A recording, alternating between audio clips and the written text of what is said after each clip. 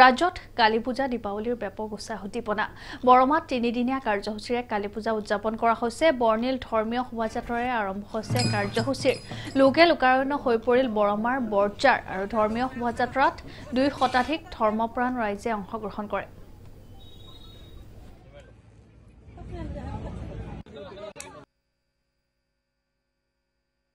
কালী পূজা আজিৰে পৰা তিনিদিনীয়াকৈ উদযাপন কৰিবলৈ লৈছোঁ।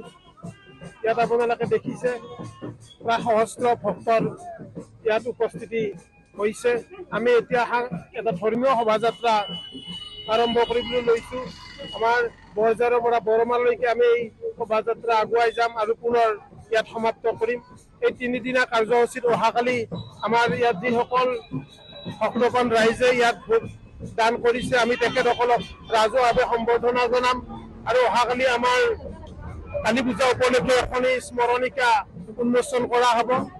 প্ৰতি বছৰে আমি এখন স্মৰণিকা ইয়াত আমি ছপা কৰি উলিয়াও।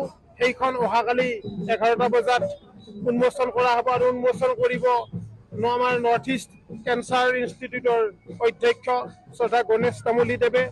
আৰু সেই অনুষ্ঠানত উপস্থিত থাকিব সুশান্ত বিশ্ব শৰ্মা আৰক্ষী অধীক্ষক শোণিতপুৰ আৰু আমি আমন্ত্ৰণ জনাইছো মই কমলপুৰ সমষ্টিৰ বিধায়ক দিগন্ত কলিতাক আমি আশা ৰাখিছোঁ প্ৰায় চাৰি সহা- সহস্ৰাধিক ভক্তৰ অহাকালি আগমন ঘটিব।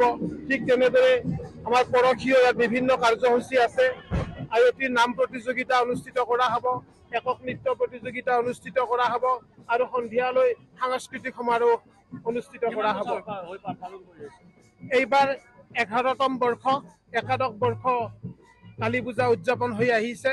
বিগত বৰ্ষৰ দৰে আমি দেখিছোঁ ইয়াত এই অঞ্চলৰ বিভিন্ন অনুষ্ঠান প্ৰতিষ্ঠান ভক্তপ্ৰাণ ৰাইজে আমাক এই উৎসৱটি পালন কৰাত যথেষ্ট সহায় কৰি আহিছে।